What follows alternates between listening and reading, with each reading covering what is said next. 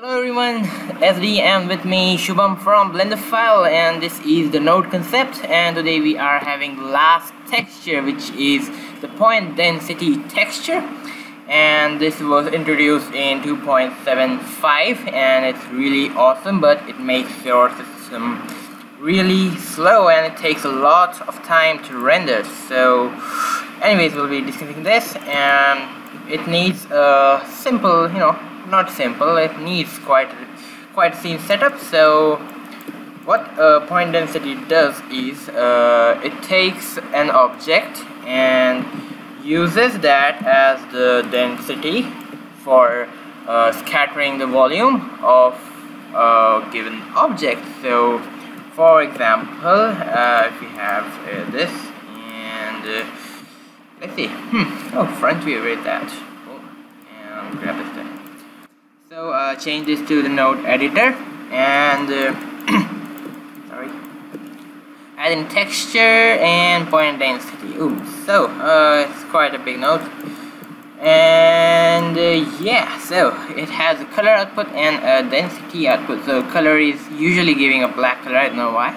But what we are to use is this density. And yeah it is actually working with the volume so you don't need a diffuse. It won't work you need is a volume scatter node and it should be connected to the volume.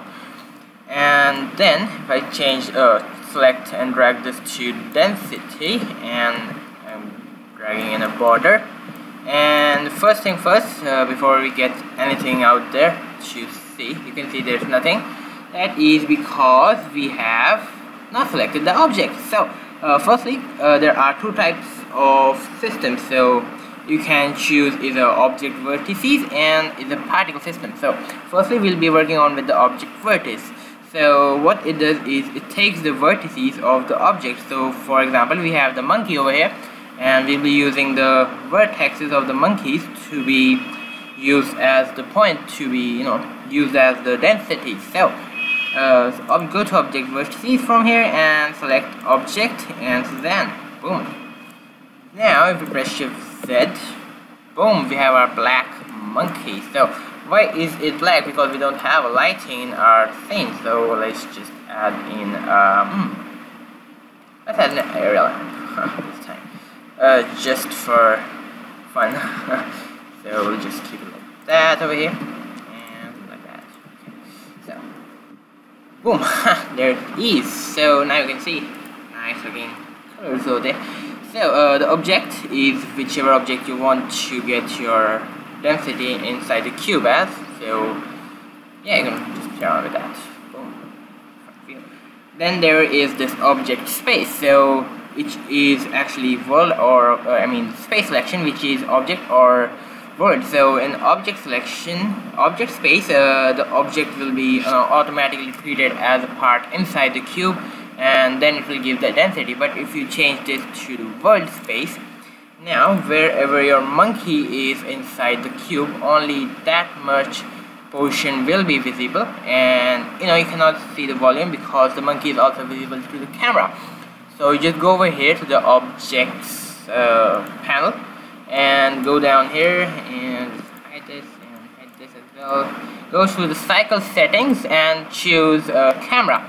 So I mean unchoose camera so it will hide the Suzanne from the view of the camera so but it will be treated over there so see it over here. And it is not working why? Why is it not working? What did I do? Oh yes ah sorry. Okay so that thing boom. Now if you see boom there it is. So the part which is inside the cube is only showing the density from the Suzanne and the rest part is invisible. So that is what you know world space and object space does. So you know object space just over there. Out. Boom. Looks nice. So that is what object space and um, what's that? World space does. Next is radius. So radius it is actually controlling uh, the amount of radius around the vertex that is to be used for you know showing the density. So if we bring this down very low something like 0.01 you can see very minor spots over there like you know dots it looks like fireflies but it is actually uh, know the density over there. So uh, if you just increase that to something like 0.6 now you can see uh, small circular dots around there. And I'm not increasing sample very much because you know it will slow down the system a lot and uh, yeah I can't I'm also you know recording a tutorial so but I might uh, go a little bit up just for this one and let's just go to 20 here so boom now you can see you know density is quite nice building up around the vertexes over there and let's just get back Alright, so uh, I just increased that to 0.1 and uh, it will keep increasing the density. So you know, the default 0.2 is quite nice and 0.3? Yeah, whatever that is. 0.2 is also looking nice. So uh, whatever, it looks nice by default and you can use down by that. And next thing is the interpolation. So uh, it won't, uh, you know, show much of a difference but what it actually does is uh, controls the you know smoothness of the density. So uh, closest closest? Huh. So closest uh, interpolation it makes them you know like cubish. So very sharp looking then uh, sharp looking points around there but you won't be not, uh, noticing any difference uh, I don't know it's very hard to notice the difference uh, but you know you just play around with whatever it is or you can just leave it default and next is linear. It makes them a little more smoother and uh, that looks nice-ish. And finally the uh, cubic. It makes them completely I mean like more smoother and curved uh, than the linear. So yeah that's how it works and yeah the cubic is cannot be rendered by GPU it can only be rendered by CPU but uh, I won't be showing you uh, it's this on CPU because that will crash my blender something like that. It will go really slow so I won't be showing you that. Just leave it as it is. So yeah it won't be making much of a difference. So oh linear was default anyways so uh, next is the resolution. So it actually is kind of uh, the you know like when you render an image you increase the samples and this is kind of the samples for the density. So the more the sample is the better detailed uh, you know dots you will be finding over there. So the mesh will be more uh, understandable because you know right now you can't understand what is going on over here that's thing so you know like resolution of something very low. That makes it like cross or something weird. And if you increase it like 150 so you can see more details over here. So it actually controls the details over here and that's basically what resolution does. So I'll just set to default again. And next is the particle system. So I won't be needing this thing again. Let's add in a mesh and plane and grab this up over here and go to the particle system, add in a new particle, and that's it. So you press Control, I mean Alt A, that will release the particles, and whichever particle is there inside this uh, cube will only be visible uh, with the, you know, density. So right now you can see there is nothing, but that is because we have not selected the particle system yet. So this time we'll be using the particle system, and it gives you some more stuff over here. But basically everything is. So you select the object which is plane in this case and it has a particle system. You just choose that particle system over there and boom, there it is. So we have our know, cloud looking thing over here. so that's uh, now every single halo over here, you know, these points that you see over here. Um, where is that? Yeah, there it is. So every dot over here is actually having its own radius, so which is controlled by this and which is getting infected and it's making them you know it's using that as a density for the for the volume scatter. So that's how it works.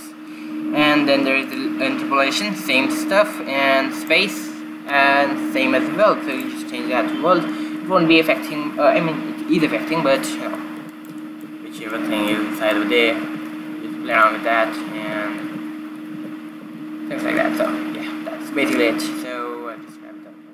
Again, and um, boom, something like that. Um, okay, so here you can see it again, and let's change it back to check space. So whichever. Okay, uh, yes, I got something. So you just uh, use the world space instead, because you know, in world space only the particles are getting treated.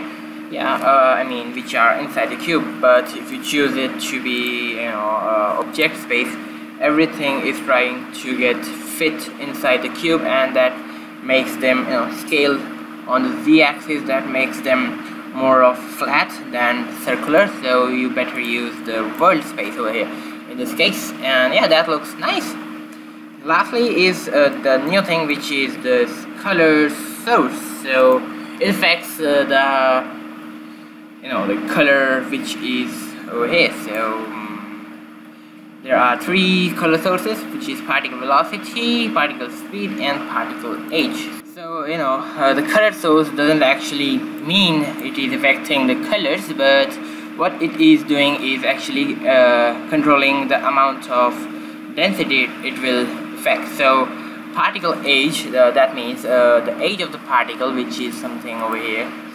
Um, for example the lifetime which is like 50 if I make them to 15 so the particles which are almost dead are going to you know give you a smaller density than particles which are you know uh, born just that frame. So uh, you can see over here. So uh, this is giving lesser dense cloud and particles which are over here are having more dense colorway so you know it's almost faded to the background but it is quite prominent and visible. So that's what particle age does. The speed actually depends upon the speed how fast a particle is falling. Yes so uh, the faster it is uh, the more it will be prominent and the slower it is the lesser it will be visible. So that's what particle speed does. And finally is the particle velocity. Huh. it's pretty much same just velocity is also taking into consideration a direction of the particle so that's basically that's different in them so most of the times you won't see much quite difference.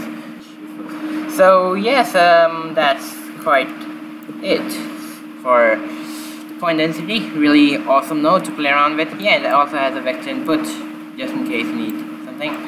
Hey, but you know, it works quite well without that as well. So yeah, that is uh, basically the point density node and uh, Ooh, we have completed all the textures finally!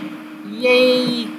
And uh, so yeah, other than these two things over here, so this is basically, you know, having image texture and um, let's see, over here. Mm -hmm. And uh, B. it is basically like that. Yeah, so image sequence does the same stuff. You can, you know, select, oops, where's that? So, ah, come on. Texture, image sequence, something like that, and you can just select these things. It will add in same stuff, so you can see that. So, image texture, image texture. So that's basically, you know, covered in the image texture tutorial back then. so you can just look back over there.